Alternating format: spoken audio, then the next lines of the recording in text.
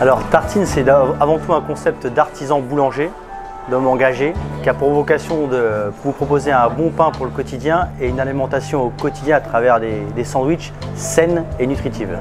Bah, déjà, c'est une boulangerie assez spécifique. On ne retrouve aucune baguette, aucune tradition, aucun pain moderne. Donc on n'est que sur des variétés de céréales anciennes, des pains bien évidemment biologiques, qui sont 100% naturels et donc forcément qui retrouvent leur qualité gustative avant tout bien évidemment et nutritionnelle. Un pain qui vous nourrit réellement.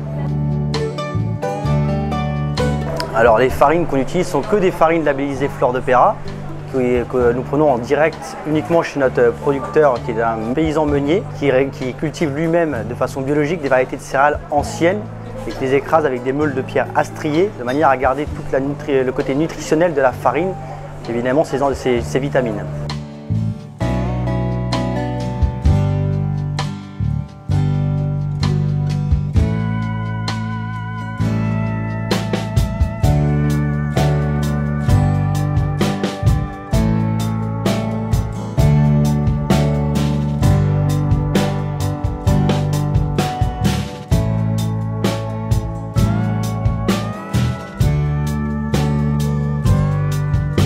On a euh, une, charte de qualité chez Tartine qui est assez particulière. On a des règles minimum sur le bio, bien évidemment, par rapport aux, céréales, euh, aux, légumes, aux fruits, par exemple. Après, sur des matières premières comme le beurre, nous privilégions des AOP origine France à des, beurres bio pour des questions de conviction personnelle. Et ensuite, nous, nous, retirons le maximum de matières premières raffinées, à savoir par exemple les sucres blancs sont remplacés par du sirop d'érable, du sucre de canne complet, euh, sur les, poules, les, œufs par exemple, nous sommes en direct avec un éleveur de poules sur des œufs, de poules plein air biologiques. Donc à chaque fois, on, a des critères de qualité qui nous poussent à rencontrer nos euh, fournisseurs pour comprendre les critères de qualité de chaque matière première et faire nos choix. La clientèle est un parfait sondage, en l'occurrence, euh, et c'est ce qu'on apprécie chez Tartine, c'est qu'on retrouve un lien avec notre clientèle. On n'est pas simplement en train de proposer un produit et on s'aperçoit que la clientèle d'aujourd'hui, elle recherche ce genre de produit.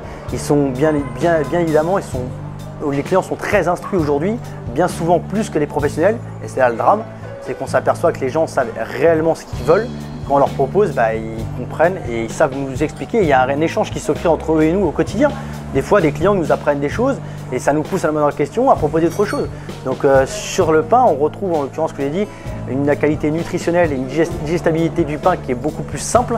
Et on a même des clients des fois qui, croient être intolérants au gluten parce qu'aujourd'hui le gluten est, très moderne et complexe et qui peuvent quand même digérer nos pains parce qu'on est sur des blés anciens qui eux ont une structure beaucoup plus simple. Le levain fait son travail, on a des pains sans levure ajoutée, faiblement salés, faits à l'osmosée, qui fait qu'en l'occurrence on retrouve cet apport nutritif et on arrive à le digérer beaucoup mieux, bien évidemment.